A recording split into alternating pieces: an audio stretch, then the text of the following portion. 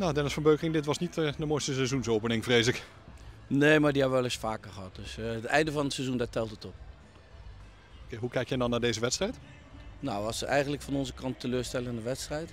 En, uh, we hebben een hele goede voorbereiding gehad. En dan hoop je dat die jongens uh, vandaag het ook brengen. Maar ja, ik vond dat we daarin niet thuis gaven. Wat zijn dan de verschillen die je gezien hebt tussen de voorbereiding en de wedstrijd van vandaag? Nou, in de voorbereiding wil iedereen zijn plekje verdienen. En op het moment dat het bekend wordt dat je je plekje hebt, dan, ja, dan kun je misschien wel eens denken van, oh ja, ik, ik heb mijn plekje verdiend en uh, ja, dan, dan, breng ik dit. Nou, dat was vandaag gewoon te weinig. Had je dan de indruk dat er niet hard genoeg gewerkt werd? Nou, ik denk niet dat de jongens het bewust doen, maar uh, ik heb in de voorbereiding andere dingen gezien. En daarop heb je ook de eerste elf geselecteerd, maar dat zag ik vandaag niet terug. Heeft dat iets te maken met de tegenstander of kijk je dan toch vooral naar je eigen team?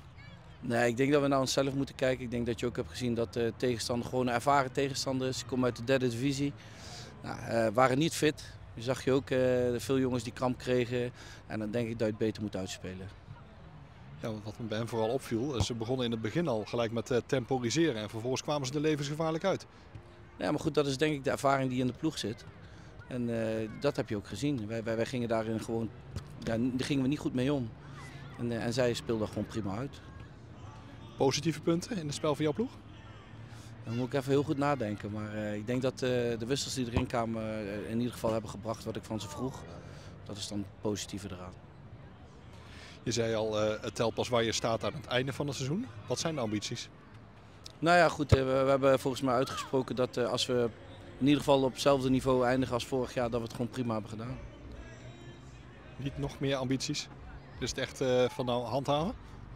Nou ja, goed, we hebben het handhaven, dat, dat is één natuurlijk altijd. Maar we hebben volgens mij zijn we achtste geëindigd.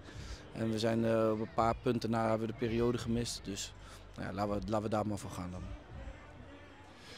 Waar gaan jullie volgende week naartoe? Uh, ik heb er helemaal nog niet over nagedacht als ik heel eerlijk ben.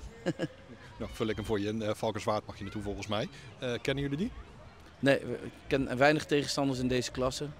En uh, nou goed, moet ik mijn collega's een beetje raadplegen links en rechts, maar dat gaat nu ook allemaal op starten. Dus uh, we krijgen de informatie nog wel.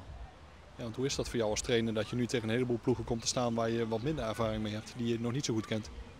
Ja, aan de ene kant is het een nadeel, aan de andere kant kijk ik toch naar mijn eigen ploeg. Uh, en zo trainen we ook.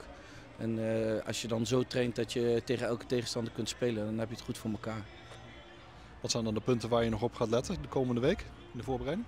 Nou ja, zeker het, uh, het voetballen. Ik denk dat we ons prima onder de, onder de druk uit hebben gespeeld de eerste helft. Alleen de eindpaas was gewoon elke keer niet goed.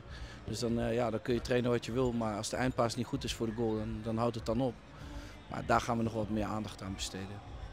Wat heb je daar voor oefeningen voor? Ja, daar hebben we een heleboel oefeningetjes voor. Maar uh, als ik die allemaal moet gaan uitleggen, dan denk ik dat we heel veel tijd nodig hebben.